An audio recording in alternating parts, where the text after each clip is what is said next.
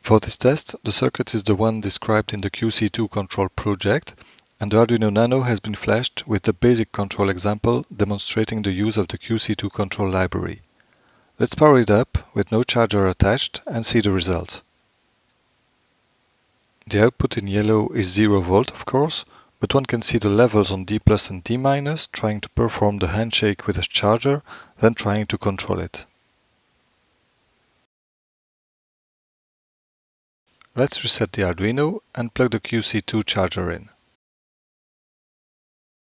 Now we can see that the charger starts at 5 volt, then it responds to the handshake and raises the voltage to 12 volt, then 9 volt, then surprisingly it drops to 0 volt before restarting at 5 volt, but handshake is not valid anymore and it stays at 5 volt.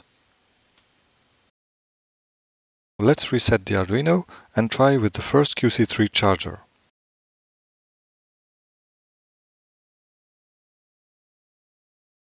Unfortunately, this one does not seem to respond to the handshake and the QC2 control requests.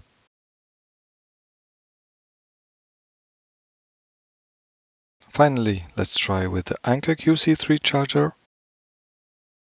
Reset. Plug in. And no luck either. The QC3 chargers seem to ignore the handshake and controls coming from the Arduino.